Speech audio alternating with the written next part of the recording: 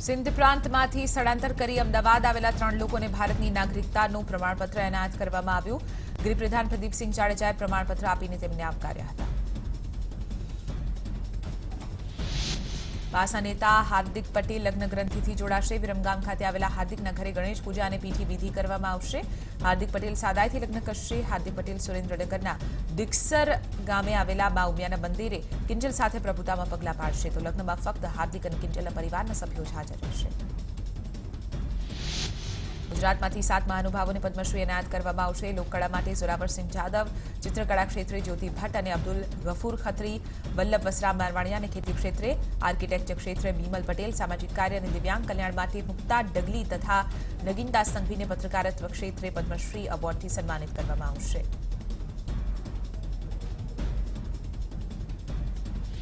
રાજકોટના દેવગામમાં વિદ્યાર્થીઓના પ્રશ્ને આખરે શિક્ષણ વિભાગ જાગ્યું છે દેવગામની પ્રાથમિક શાળામાં વિદ્યાર્થીઓને છેલ્લા એક વર્ષથી ખુલ્લામાં શિક્ષણ આપવામાં આવતું હતું જોકે હવે ડીડીઓના આદેશ બાદ શિક્ષણ વિભાગના અધિકારીઓએ પ્રાથમિક શાળાની અને ગામના સરપંચની સાથે મુલાકાત કરી બનાસકાંઠાની બનાસ ડેરીએ ફેબ્રુઆરીથી પ્રતિ ફેટ દસ રૂપિયાનો વધારો કર્યો છે પ્રતિ ફેટે દસ રૂપિયાના વધારાથી પશુપાલકોને ફાયદો થશે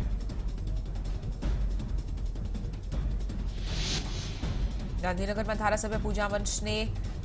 ફોન ઉપર ધમકી આપવાનો જે કેસ હતો, તેમાં સીઆઈડી ક્રાઇમ દ્વારા કોલ ડિટેલ્સ મેળવવામાં આવશે. આ માટે સેક્ટર એકવીસ પોલીસે ધારાસભ્ય પૂંજા વંશની કોલ ડિટેલ મેળવવા સીઆઈડી ક્રાઇમને પત્ર લખ્યો છે. તો પોલીસને ચાર આંકડાના પ્રાઇવેટ નંબરથી કોલ આવ્યો હોવાની આશંકા છે. દાહોદમાં યુવતીને બાંધી માર મારવામાં ગુનામાં પોલીસે છ પુરુષ અને એક મહિલા વિરુદ્ધ ગુનો નોંધીને તપાસ હાથ ધરી. પોલીસ તપાસમાં વીડિયો દાહોદ નજીક રડિયાત ગામનો હોવાનું મળ્યું છે.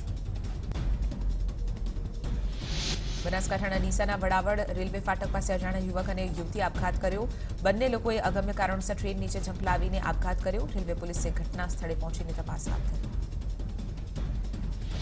જામનગરના એક વિદ્યાર્થી આપઘાત કર્યો ઇલેક્ટ્રિકલ એન્જિનિયરિંગના ત્રીજા સેમેસ્ટરમાં ભણતા યુવકે પરીક્ષામાં એ ટિકિટી આપતા ગળે ફાંસો ખાઈને આપઘાત કર્યો બારડોલીમાં આવેલા કામરેજના વાવ ગામની સીમમાંથી બસો મીટર અંદરથી એક લાશ મળી આવી આ અજાણ્યા શખ્સના શરીર પર અને ગુપ્તાંગો પર તીક્ષ્ણ હથિયારના ઘા મારીને હત્યા કરાયેલી લાશ મળતા પોલીસે તપાસ તેજ કરી ગાંધીનગરના રૂપાલ ગામના તળાવમાંથી લાશ મળી આવી સુપ્રસિદ્ધ વરદાયીની માતાના મંદિરની સામે આવેલા તળાવમાં લાશ દેખાતા ગ્રામજનોએ ફાયર વિભાગને જાણ કરી હતી ફાયર વિભાગે લાશને બહાર કાઢી પોલીસ હવાલે કરી તો પોલીસે અજાણી લાશની ઓળખ પરખ કરવા તજવીજ હાથ ધરી છે ઊંઝા તાલુકાના વરવાડા ગામના પૂર્વ સરપંચના દબાણો દૂર કરવા ચીમકી આપવામાં આવી કલેક્ટર કચેરીમાં નનામી અરજી કરી આત્મવિલોપનની ચીમકી ઉચ્ચારવામાં આવી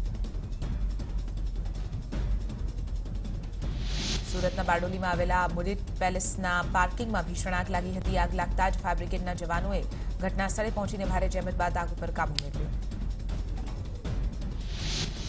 સુરતના એરપોર્ટ રોડ ઉપર પાર્ટી પ્લોટમાં મંડપમાં આગ લાગી છે મંડપમાં આગ લાગતા મોટાભાગનો મંડપ બળીને ખાખ થઈ ગયો આગ લાગ્યાની જાણ થતાં બે ફાયર ફાઇટર ઘટના સ્થળે પહોંચ્યા છે આણંદ વરિયાવીની શાળામાં મધ્યાહન ભોજનમાં ઈયળો દેખાતા હોબાળો મચ્યો હતો પટાકનગરની પ્રાથમિક શાળામાં બાળકોને પીરસવામાં આવેલા દાળ ભાતમાં ઈયળ અને જીવજંતુ હોવાના વાલીઓના ધ્યાને આ સમગ્ર મામલો આવ્યો ત્યારબાદ તેઓએ હોબાળો મચાવ્યો હતો અહીં વાલીઓ તરફથી આક્ષેપો થઈ રહ્યા છે કે વિદ્યાર્થીઓને જે ખાવાનું આપવામાં આવે છે તેમાં બેદરકારી થઈ રહી છે આગામી તારીખ સત્યાવીસના રાજકોટ મહાનગરપાલિકાના વોર્ડ નંબર તેરની પેટા ચૂંટણી યોજાશે જેમાં પચાસ બૂથો ઉપર મતદાન યોજવામાં આવશે સવારે આઠ વાગ્યાથી સાંજે પાંચ વાગ્યા સુધી મતદાન યોજવામાં આવશે અમદાવાદમાં દિવ્યાંગ લિફ્ટમેનને નોકરીમાંથી કાઢી નાખતા વિવાદ ઉભો થયો હતો જેમાં સારંગપુરમાં આવેલી કંપનીમાંથી આડત્રીસ લિફ્ટમેનને કાઢી નખાતા પાછા લેવાની માંગ સાથે વિરોધ થયો